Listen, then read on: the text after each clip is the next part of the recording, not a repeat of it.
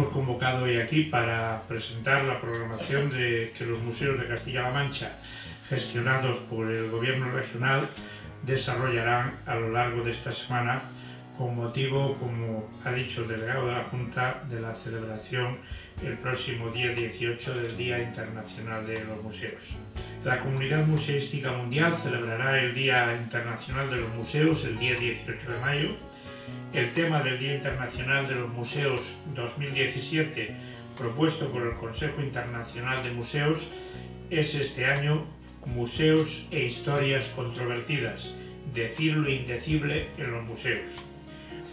Y lo hacemos hoy en Guadalajara porque coincide también con la inauguración en esta ciudad, en el museo ubicado en el Palacio del Infantado, de una importante exposición, la ostentación del poder, metalurgia, la prehistoria y protohistoria. Esta exposición que se fundamenta en nuestro origen, en nuestro pasado remoto, está integrada por alrededor de 450 piezas de los museos de Guadalajara, Ciudad Real, Albacete, Cuenca, Santa Cruz de Toledo, Valdepeñas y Almadén.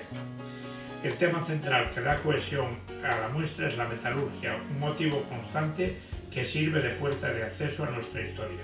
En el presente año, los museos gestionados por la Junta de Comunidades de Castilla-La Mancha realizarán varias actividades a modo de celebración, tanto el mismo día 18 jueves como en los días anteriores y posteriores.